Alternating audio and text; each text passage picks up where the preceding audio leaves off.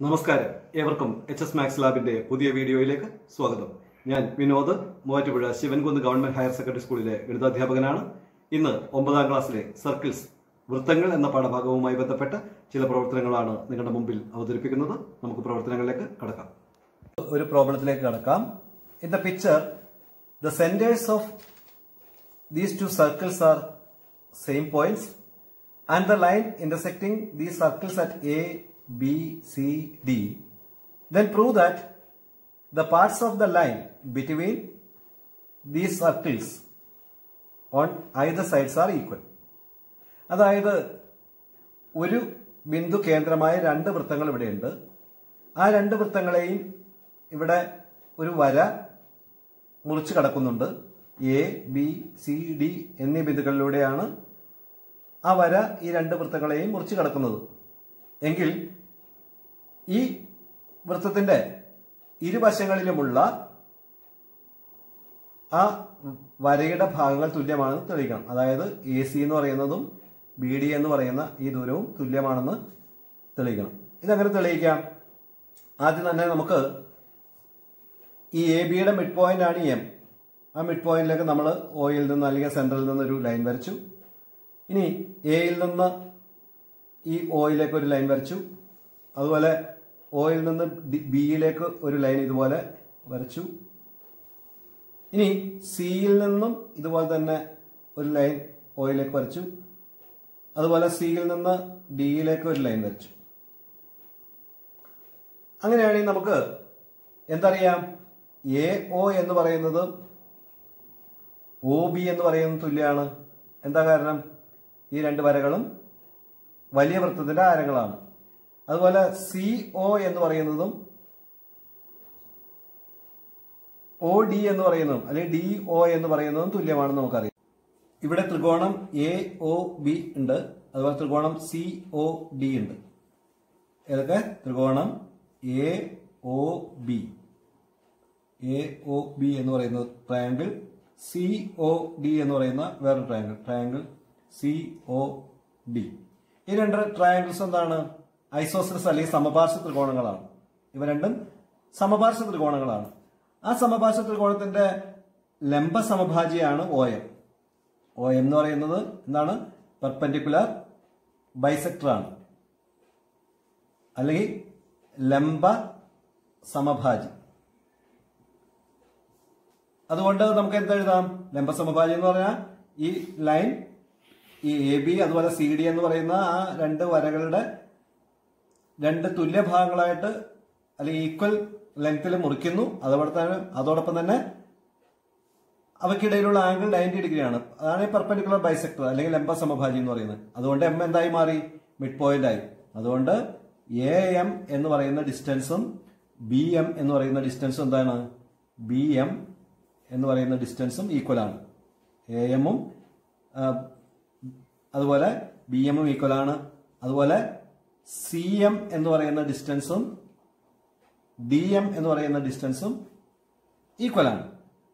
ഇനി നമുക്ക് പ്രൂവ് ചെയ്യേണ്ടത് എ സിയും ബി ഡിയും തുല്യമാണെന്നാണ്. എ സി എന്ന് പറയുന്ന ഡിസ്റ്റൻസിനെ എങ്ങനെ എഴുതാം? എ സി എന്ന് പറയുന്ന ഈ ഡിസ്റ്റൻസ് എന്ന് പറഞ്ഞാൽ എ എം ഇന്ന് എം സി മൈനസ് എന്നാണ്. A M minus M C ആണ്. അതിൽ എ എം എന്ന് പറയുന്നത് എന്തിനു തുല്യമാണ്? എ എം എന്ന് പറയുന്നത് ബി എമ്മിന് തുല്യമാണ്. അപ്പൊ എ എമ്മിന് വരെ നമുക്ക് എന്ത് എഴുതാം?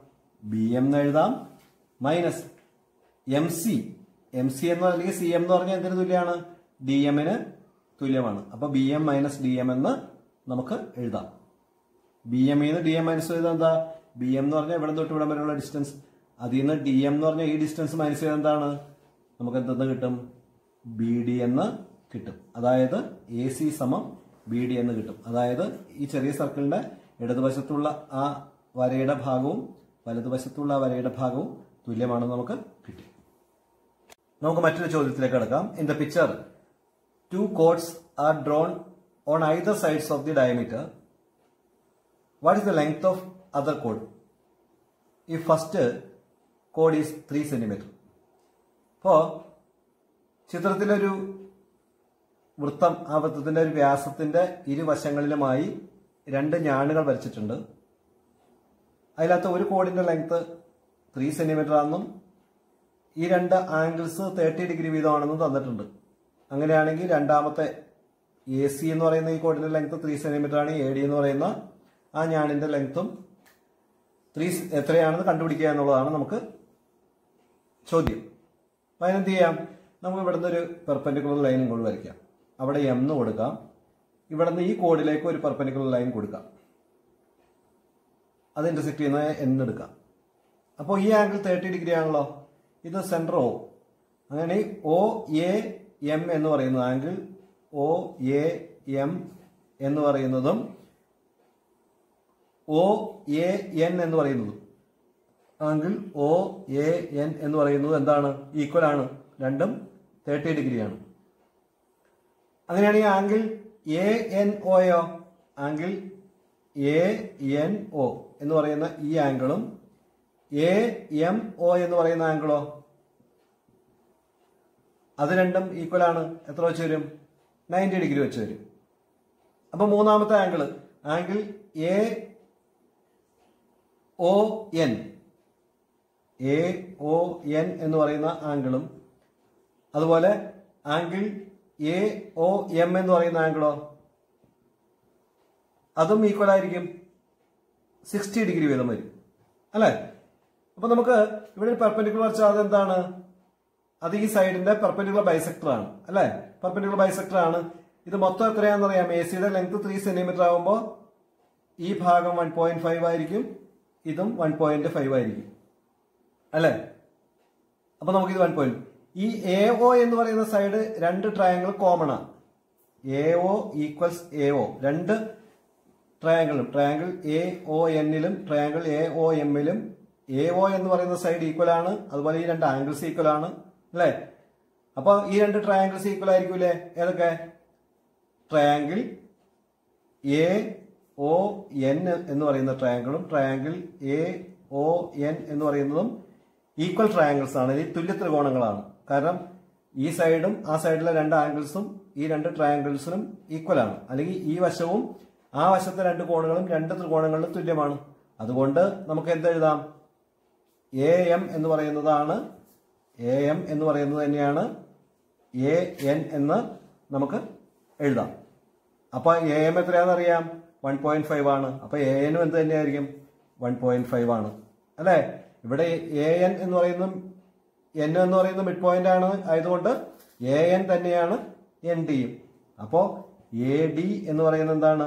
Two into one point five അല്ലെങ്കിൽ വൺ പോയിന്റ് ഫൈവിന്റെ ഇരട്ടിയാണ്. എത്ര വരും? ത്രീ സെന്റിമീറ്റർ എന്ന് കിട്ടും. അതായത് എ സി ത്രീ സെന്റിമീറ്റർ ആണെങ്കിൽ ആ എ ഡിയും ത്രീ സെന്റിമീറ്റർ തന്നെയാണെന്ന് നമുക്ക് കാണാനായിട്ട് സാധിക്കും. നമുക്ക് മറ്റൊരു ക്വസ്റ്റിലേക്ക് കടക്കാം. A code and the diameter through one of its ends are drawn in a circle a chord of same inclination is drawn on other side of the diameter. Prove that the chords are of the same length.